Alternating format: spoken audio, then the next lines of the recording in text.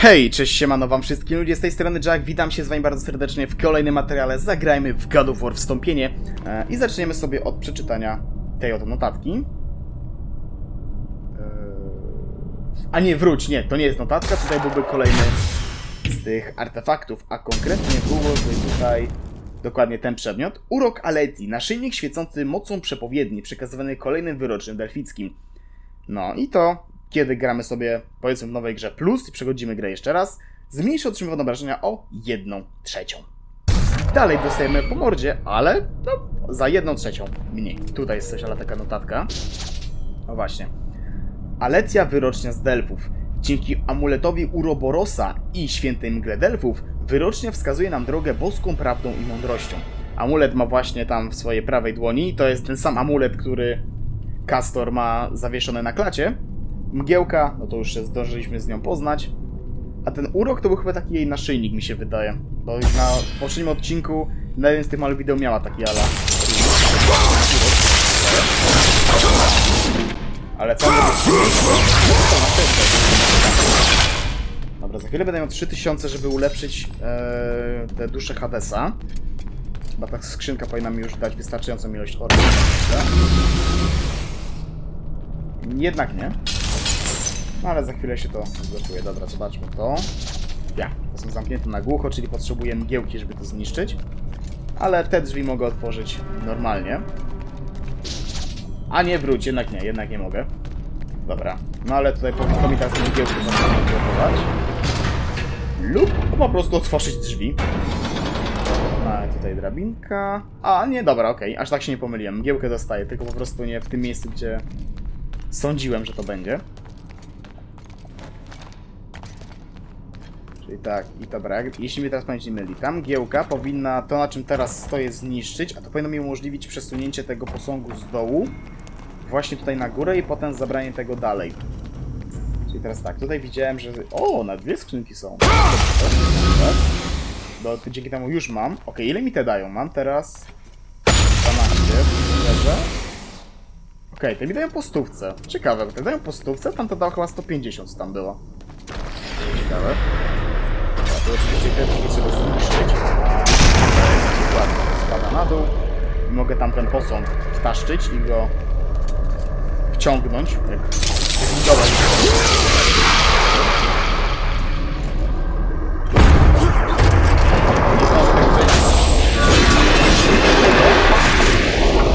Okej, no to troszkę prądu.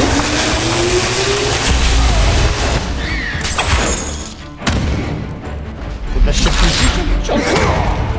Naprawdę nie mała ilość. Łap go. Jego nie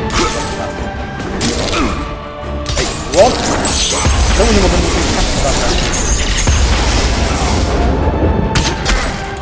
Na boki, na boki, na boki. I zdychaj. To chyba królowa harki, tak mi się wydaje. Ona tak się w... Królowa harki. Była po prostu... Nie była jakaś mega mocniejsza, ale no... No to zobaczyć. Prądem.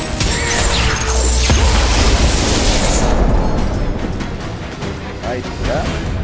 Czy ja to mogę obracać? Mogę, świetnie, więc przesuniemy sobie to bardziej w tę stronę. Tak jest po prostu wygodniej. Teraz tak, tutaj na górę. Oczywiście możemy powskakiwać po drabince, żeby poszło o wiele szybciej. No ale no, ej, kratuch, ale nie w taki sposób, nie? Jeszcze, jeszcze. W taki sposób. No i teraz tutaj rozwalamy. No, hype, hype, hype, hype, hype. Teraz wskoczę na to, żeby mi się zabrało na tyle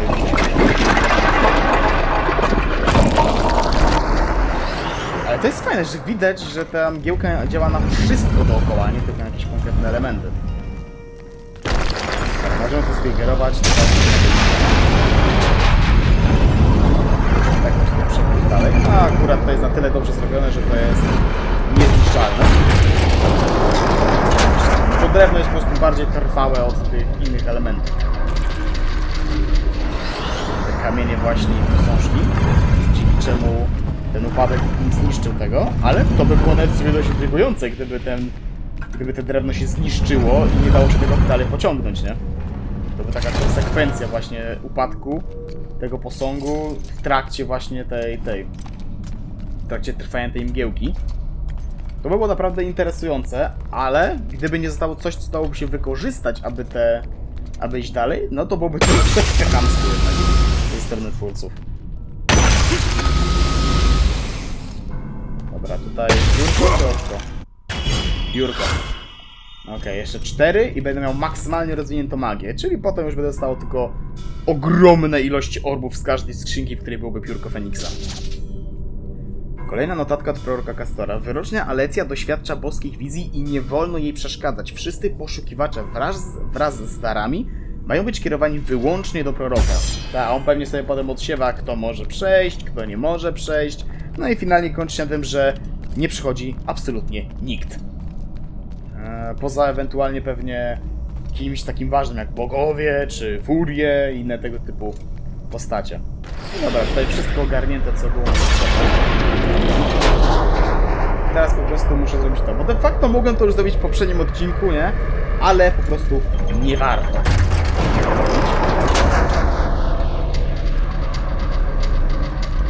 Okej. Oczywiście kasenka zaś z, że czas leciał. Już, nie jest szybciej, bo to, to też co ja wam mówiłem, nie? że podczas tej kastenki też mija licznik, kiedy ile to jest aktywne trzeba już poprawkę. A teraz jeszcze to... Ho. Okej. Dobra, e, chyba byłem troszeczkę za wolny, to mi się wydaje. Kurde. Dobra, dawaj to. Cyk. Żebyś tam unikami dostać. Dobrze. Dobrze. I skacz, skacz, skacz, skacz, skacz. Przeskokami, przeskokami.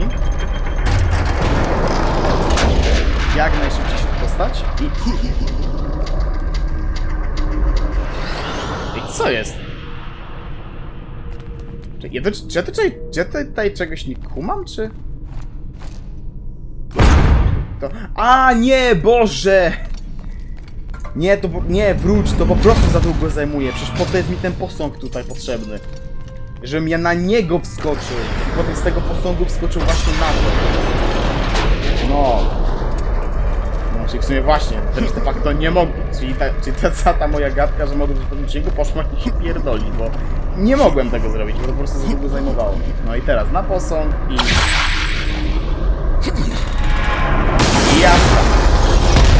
Lecę teraz zniszczona, winda odblokowana i walka z bossem mnie właśnie czeka. Dobra, jeszcze? Dobra, jeszcze nie ma kastenki, czyli mogę działać. 4000. Czyli teraz tak, czy wziąć magiczny atak do lodu? Na tego bossa się ta magia totalnie nie przyda, więc podziękuję. Ale specjalny atak do Hadesa jak najbardziej sobie wezmę. Dobra. No i proszę, tutaj aż 5000 potrzebuję na atak magiczny, czyli tyle samo, ile teraz potrzebuję na upgrade ostrze. Ale pomimo, iż ten atak magiczny Hadesa jest naprawdę dobry, to jednak teraz już faktycznie pozbieram po prostu na te ostrza. To się bardzo przyda. Złóż swoją ofiarę Aleti, a my sami zdecydujemy, czy jest jej godna. Nie mam ofiary! Czy zamierzałeś stanąć przed obliczem wyroczni, nie składając w ofierze żadnego daru? Zuch. Głupi, lecz zuch. Jednakże znak ten świadczy o tym, że masz ważny powód, by zobaczyć się z wyrocznią. Wróć tu, kiedy zdobędziesz bardziej stosowny dar. Przybyłem, by rozmawiać z wyrocznią. Właśnie to zamierzam zrobić. Chętnie wysłuchałbym twojej historii, wojowniku. Szkoda jednak, że postępujesz tak nierozważnie. Precz z nim!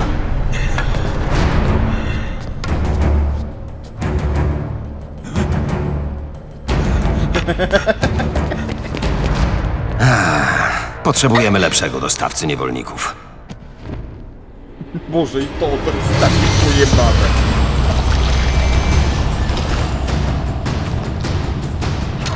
Jakim cudem on jest tym typem złączony? Nie będziemy pojebane. tolerować twojego zuchwalstwa.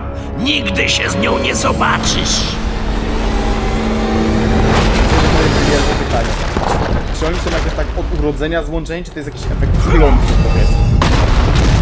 To jest naprawdę intrygujące i czasami nie wiem, czy chcę stać na tym szybko, szybko, szybko, szybko, szybko. Noc się jak widać zapada, a niestety... My się nim na pewno zajmiemy. Jeśli tutaj... To jest taki minus, że jeśli tutaj skinę, no to muszę niestety całą tę przeprawę zrobić jeszcze raz.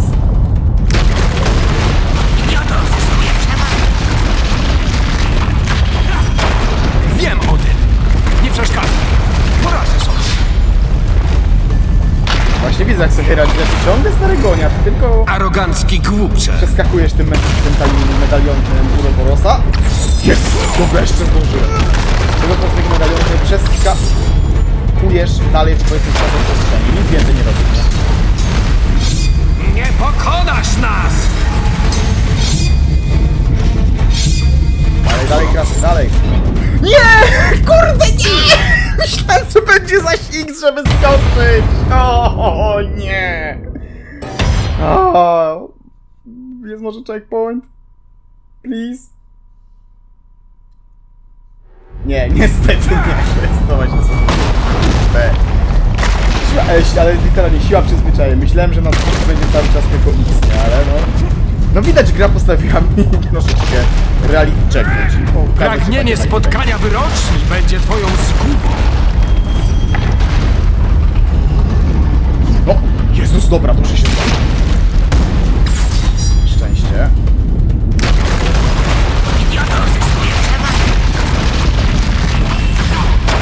Wiem o tym. Nie przeszkadzaj. Poradzę sobie. Teraz muszę po prostu Arogancki głupcze. Jak mi się pojawia, żeby zaś takie i... No to nie znajdę.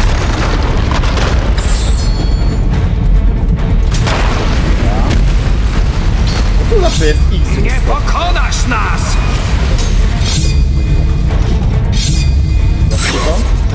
A teraz X! A teraz X! Może i jesteś wielkim wojownikiem, ale nie ma dla ciebie miejsca w naszej świątyni. Nigdy nie zobaczysz się z wyrocznią. Może to jest też przerażające, no, że ona tych oczu nie ma.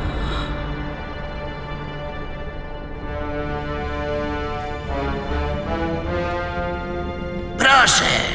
Cóż za upór, prawda? Upór przyniesie mu tylko śmierć. Wiecie co mnie ciekawi? A propos Castora, to on na pewno dość długo już używa tego amuletu. Się jedna rzecz. Jak stary on Czemu jest? wpuszczono go do mojej świątyni?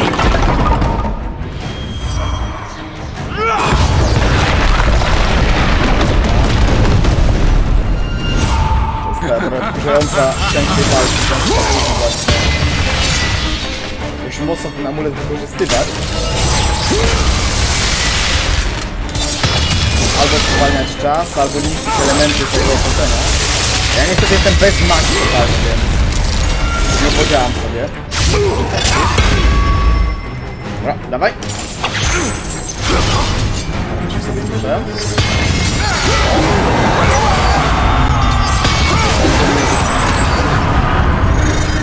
Jego oczywiście też nie może złapać niestety. To każdy cios sprawia, że jego obecny gap, jest cofnięte w czasie, to chwilę jest właśnie się między... Dobra, może tak co chwilę, ale... Między jego odmierzonym, a tym starym.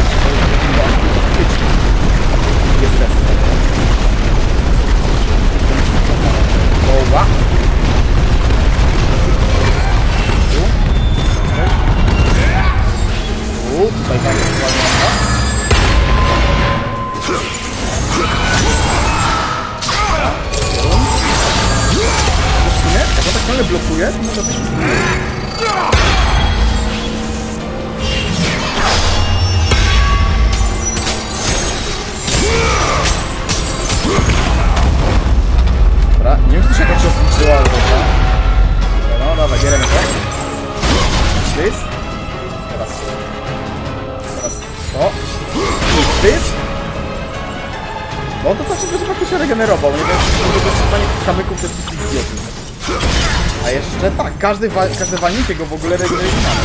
To akurat na plus, jak najbardziej.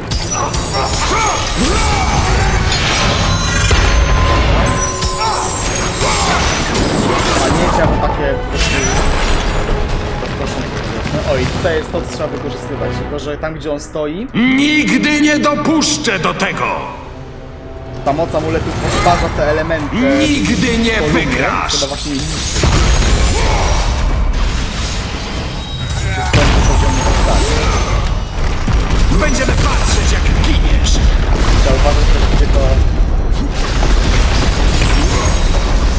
Ginie naznaczony! postarza te elementy. Cholerę. O! Dobra. A, nie, czekaj, nie chwytamy, nie chwytamy, tylko bijemy.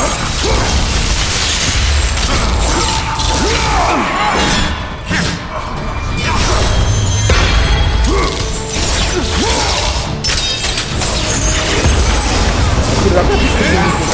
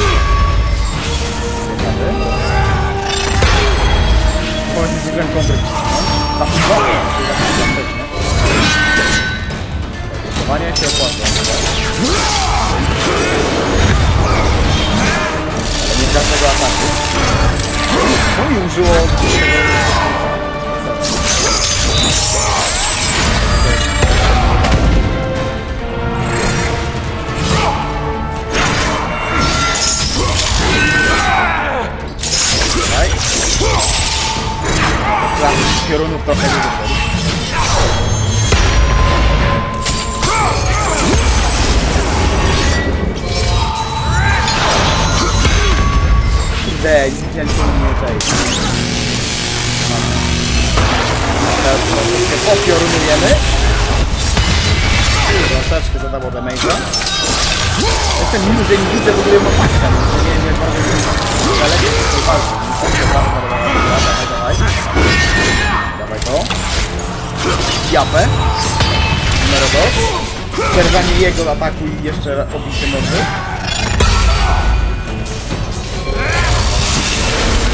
Chwycił mnie. Kurde, za daleko jest. O, chyba? A nie, okej, jak skończymy debil, się to dobrze przesunął, także... Na twoje własne życzenia odbiłem ci właśnie na tej konflikcie. Jest. Życie i mana, prawda? Siła nie pomoże ci w tej świątyni!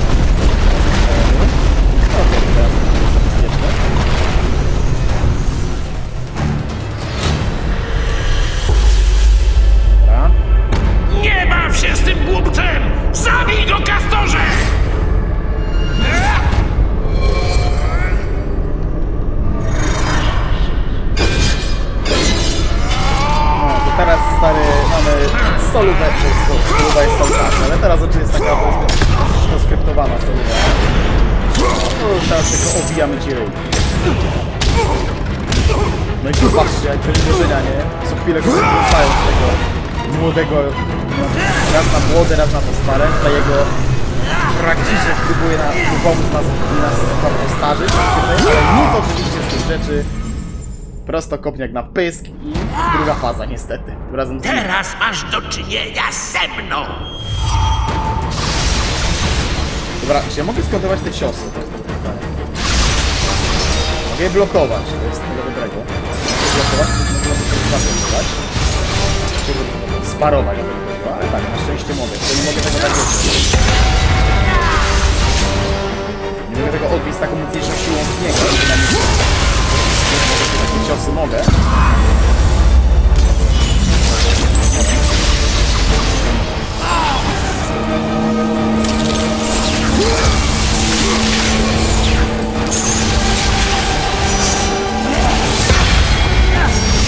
Kurde, ej, nie wiara, to mogę takie zajebiście zablokować. To jest sparować.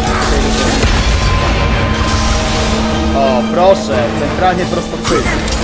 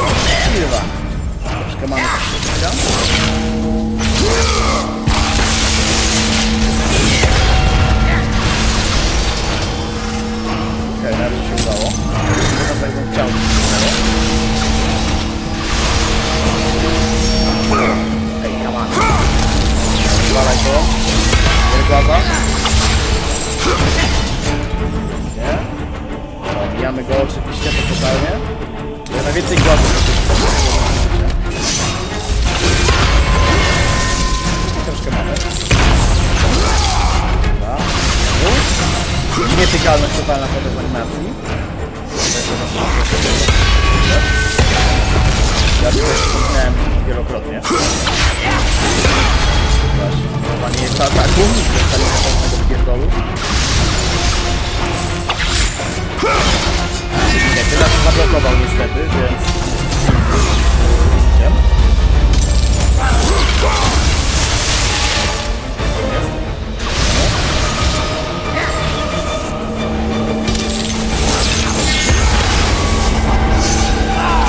Serio, akurat mu w top skoczyłem. Dobra, się cały czas miałem blokadę.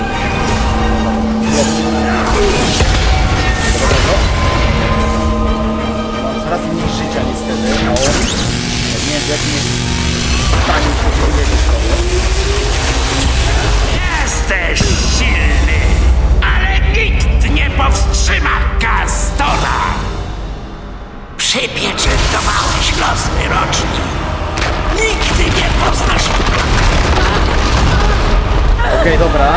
koniec drugiej fazy i teraz będzie chyba trzecia, tak taka bardzo krótka. No, właściwie nie, nie wiem, czy nie trzecia faza, go napierdalać tyle. Nie na to, to się używają. No i teraz już tego do końca. Jeśli zawiodę, czekają mnie męki. Okej. Kontra. Nie daje mi się zrobić w bafu do durnym przeskokiem oczywiście. Cyk. I kończymy teraz. Bo de facto Castor był już martwy, nie? Teraz trzeba będzie się pozbyć jeszcze tego wzrastającego mu sklepy brzucha. Mua, Jezu, jak ja kocham tą brutalność War'ach, nie? To jest takie cudowne.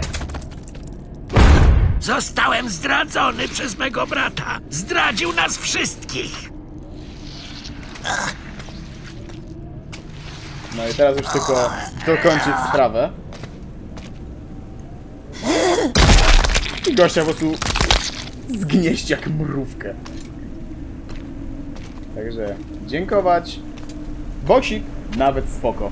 No i oczywiście teraz odbieramy ów amulet.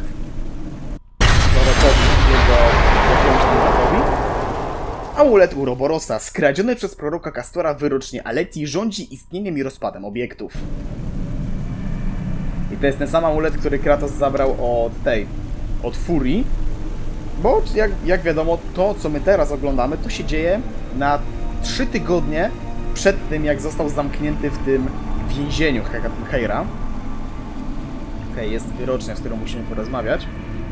I ten amulet umożliwia nam nie tylko odbudowę tego miejsca.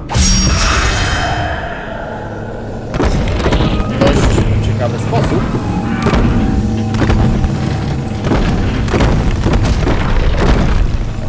Miejscu trzeba zatrzymać. To jest taki punkt stopu w czasie, powiedzmy, który nam umożliwia dalsze przejście, żeby to zregenerować później wyżej. Chyba, czy tutaj jest coś więcej schowane? Z tego co widzę, to nie. Więc oni niech sobie tutaj gniją, się rozkładają i tak dalej. My sobie idziemy dalej. Ale ten amulet umożli umożliwia nam też złożenie tych wszystkich zepsutych skrzyń. A, to skrzyni.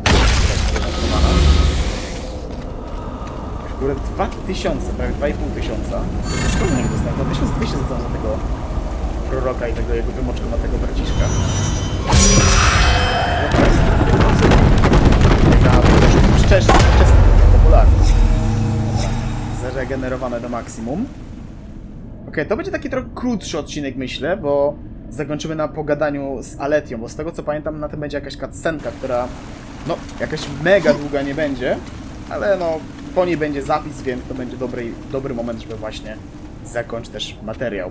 Tutaj mamy, zdaje się, tak, pierwszą z tych zniszczonych skrzyń, którą możemy właśnie naprawić. Wystarczy od razu go użyć, ona już jest od razu możliwe do wykorzystania, ale żeby nie było za łatwo, nie możemy tym amuletem naprawić skrzynki już otwartej, żeby potem zebrać więcej więc orów. Ty w ogóle miałem miecz, w ogóle go nie wykorzystałem podczas tej walki, mogłem mu, mu trochę obrażeń tym zadać. Kurde, zap nie zapomniałem totalnie o tym mieczu.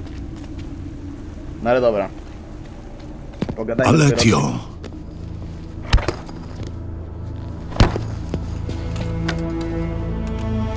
Przedmiot, który posiadasz, nie ma na mnie wpływu. obawiam się, że nie mogę ci pomóc. Nie przejmuj się. Moja przeszłość jest przesądzona. Długo czekałam na ten dzień. Twoje myśli są tak zmącone, a umysł ogarnęło zwątpienie. Czuję to. Czy szukasz prawdy? Tak, Niech będzie. Pamiętaj, za prawdę zawsze należy zapłacić wysoką cenę.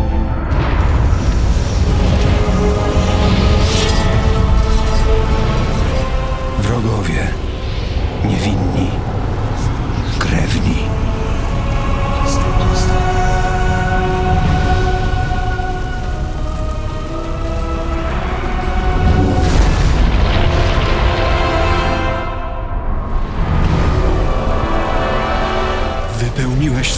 Przysięgę. Przeszłość już nie wróci. Nie da się cofnąć czasu.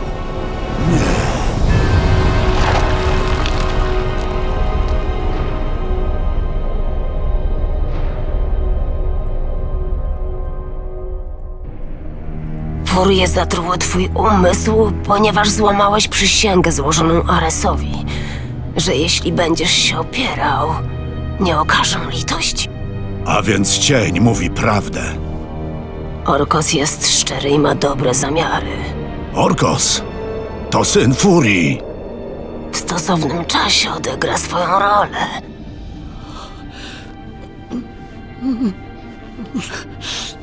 Mój czas dobiega końca. Aby uwolnić się od szaleństwa, które cię opętało, musisz zwyciężyć tych, którzy strzegą przysięgi złożonej Aresowi. Jak stawić czoła Furiom, gdy to, co widzę, jest łudą? Daleko za morzem, w latarni morskiej na Delos znajdują się oczy prawdy. Delos, Odnajdź oczy prawdy. One ci wskażą drogę do wolności.